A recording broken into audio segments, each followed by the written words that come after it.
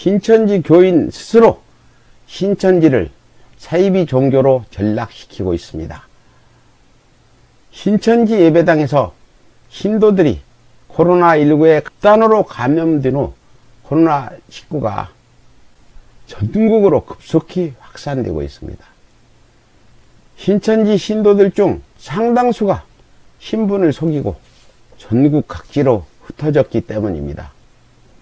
방역당국이 급히 교인 명단을 확보하고 방역에 나섰지만 수백 명에 달하는 교인들이 여전히 연락을 끊고, 끊고 잠적해 전국적인 확산 방지에 애를 먹고 있는 실정입니다.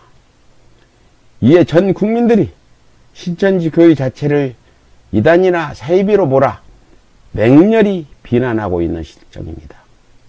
신천지 교회 관계자와 신도들에게 묻겠습니다.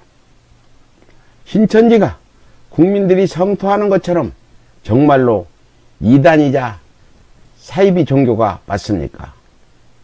신천지가 사이비 종교가 맞으면 신천지는 마땅히 해체되어야 할 것이며 신천지가 사이비 종교가 아니라고 주장하고 싶다면 지금이라도 당장 잠적한 신도들이 정부 당국의 방역에 적극적으로 협조해야 할 것입니다. 만약 신천지 신도 여러분이 코로나19에 감염된 채 잠적한다면 그것은 단지 여러분 자신만의 문제가 아닙니다.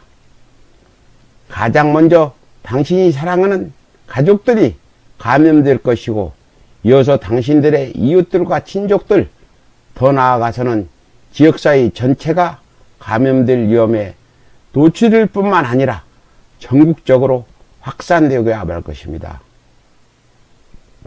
그리고 결국 신천지는 이단이나 사이비로 전락해 처벌받고 해체되거나 영원히 국민들에게 사이비 종교로 천대받게 될 것입니다. 이렇듯 신천지를 사이비로 전락시킨 것은 타 종교의 신천지에 대한 매도도 아니요.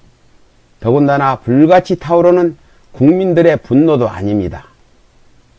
가끔 신천지를 사이비 종교로 내몬 것은 다름 아닌 신분을 숨기고 잠적한 신천지 관계자와 신도들이었습니다. 신천지 관계자와 신도들에게 호소합니다. 당신들이 진정 신천지를 정상적인 종교로 생각한다면, 당신들의 가족과 친지들을 사랑한다면, 지금이라도 당장 방역당국에 연락해 코로나19 방역에 협조해 주십시오. 신천지가 사이비로 전락하는 것은 바로 지금 신천지 신도 여러분의 행동 여부에 달려 있다는 것을 잊지 말아 주십시오.